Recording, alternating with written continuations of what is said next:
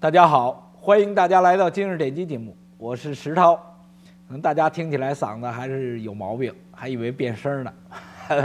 没有，昨天已经在节目当中跟大家分享过我的呃当时的状况，跟大家有所交代。但是那么交代了完了之后呢，很多朋友有一些反应，呃，有的朋友不同的反应了。呃，那其中特别有意思的，我就提到我说，其实我在跟大家分析我个人节目的时候呢，我是站在一种，你可以称它是迷信，你可以称它是信仰，但这里咱说好啊，不是宗教，呃，只是对生命的认识。我说我站在那个基础上跟大家分析有关政治和新闻。哎，好多朋友留言，我不爱听你那个，我就听爱爱听你政治和这个新闻的分析。你有你独到的，那我读我我百分之百都告诉你我怎么做的，哎，你就不愿意，你就非得把你愿意的那部分收收走了，不爱听的那部分，跟你的观念不吻合的那部分，你都给我扔了。你我不接受你那一套。这个实际呢，呃，我没有任何怪罪大家啊，这个我自己也一样。这个东西就是被称为党文化当中的，一一一个最关键的，去不去接受别人，而是在别人拿出东西之后，去迎合自己舒服的地方，与自己观念发生冲突的时候呢，采取拒绝的方式。党文化有一个很关键的东西，共产党的文化是斗争的文化，不。呃，不随自己意的东西都一定给要给他革命，对吧？而所有的人也知道，真正我们怎么说？一般来讲啊，说人生最大的敌人就是我们自己。我们自己的原因是因为我们面对这五光十色的世界呢，我们不能理解它，不能包容它。在现实的生活当中，我们也提到说，这个人很厉害，因为他能包容一切。对的错的，在他的眼睛里，在他的境界当中，他都能接受，而且能理解别人，而且能理解作为对方他当时为什么这么做，为什么这么想，还能接受别人，甚至是呃看起来不好的东西。那这个被我们称为说这样的人，其实他是一个大写的人。所以在党文化的熏陶下，其实会营造我们非常狭隘的心理。恨人有，笑人无，以自己利益作为出发点，可能有些朋友觉得你话说狠了，真的没有。那现在国内提起来就有关在香港战中的问题上，说外国势力侵入，一会儿我们就跟针对这个问题跟大家分析他为什么这么说，而且被很多朋友认可。那除此之外，作为今天现实的环境当中呢，呃，我跟大家讲过四中全会呢。跟三中全会很类似，鸦雀无声，全给封闭了，打得热火朝天。我跟大家讲过，打得热火朝天，他在干嘛？依法治国，这是提出来的。依法治国，我提醒你，这里没有共产党。网上有篇报道发广的文章，题目这么说的：周永康失事，政法委缩权管理委员会，复名叫做治安委员会。中国检察日报十号刊登了孟建柱七月份在司法体制改革试点工作会上的一句话说：“中央决定将中央社会管理综合治理委员会叫管理委恢复为中央社会治安综合治理委员会叫治安委，目的是为了集中精力抓好平安建设。这将意味着政法委完全被缩权。”那周永康的路线遭到清算。我刚才跟大家说了，江泽民利用全是共产党的系统，很多朋友不太愿意认可这一点。今天习近平能够用的必须是国家的系统，他必须建立国家的系统，干死党的系统，才能保住他的命。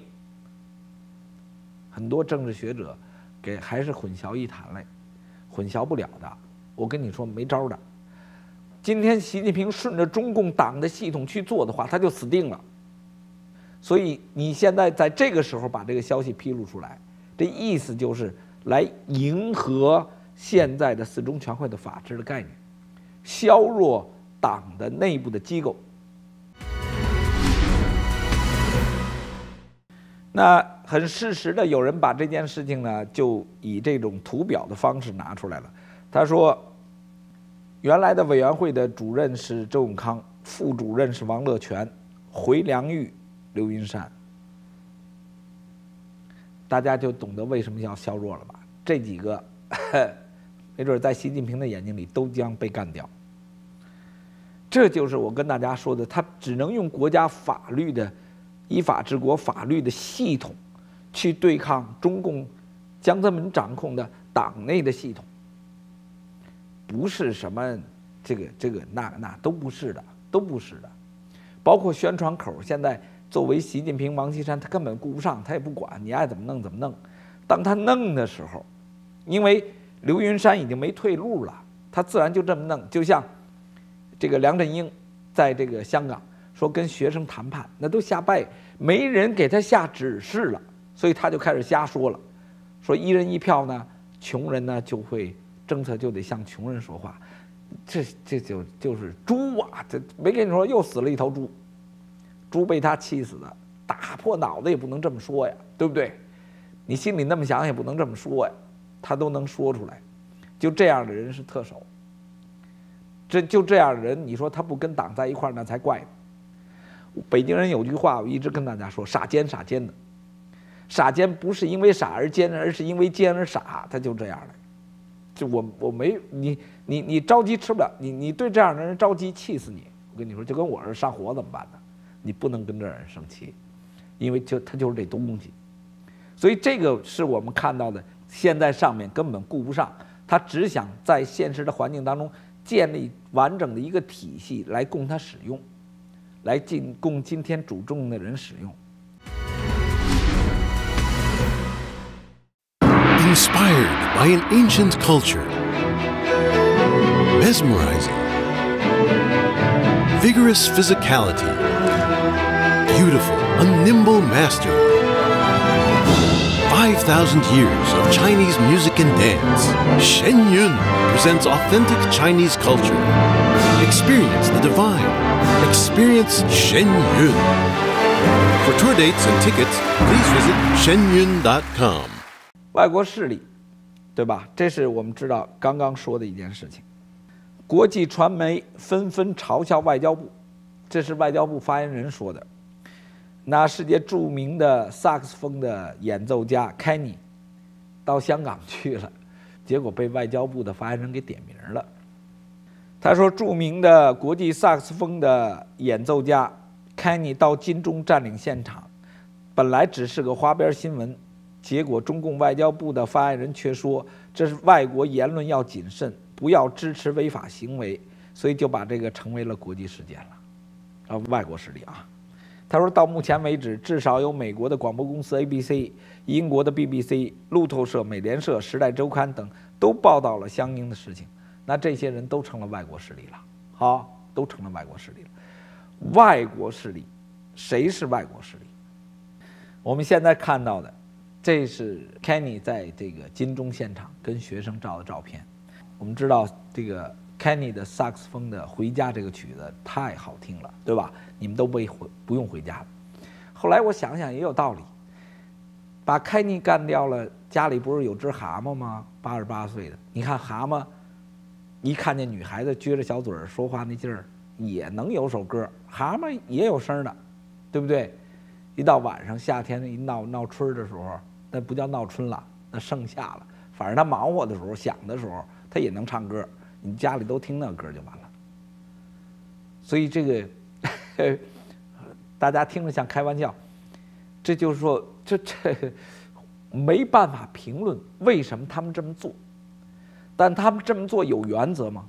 有原则，利益，外国势力，这个画像对于我来讲是刻骨铭心的，呃，这是非常记忆深刻的，十年一小庆，五年一大庆。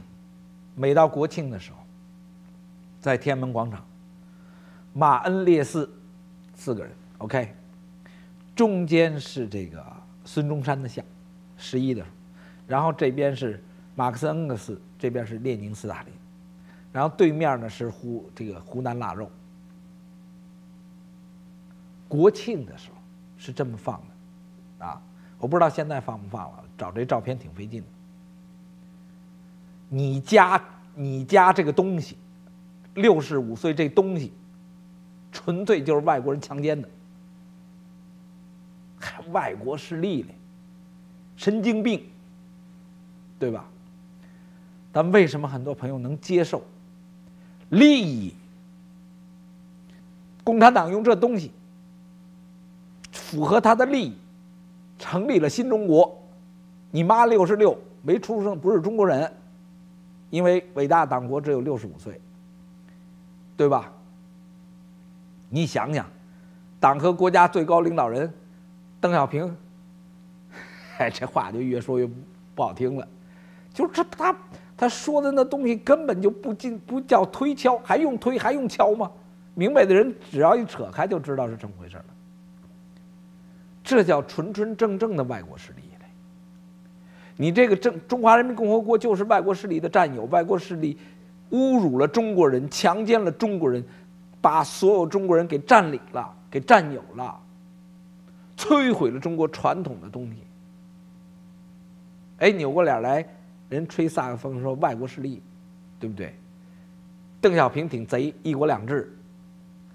在那你对中国而言，香港的制度就是跟党国的制度是不一样的。你已经外国势力了，那从哪头算你们家都是外国势力。伟大党国外交部的发言人傻帽似的，你在说的外国势力，你家党国你隶属的外交部就是外国势力，还犹太人侨居在德国。加入的是撒旦魔鬼教，你说这都什么东西？哎，要一定明白，我说过，共产党是魔鬼。共产党魔鬼就是，他明明说的都是非常荒谬的东西，可是，在你的脑袋里，你却能接受。这就是魔鬼，超越于一般的坏人。那好，这期节目就到这里，谢谢大家，再见。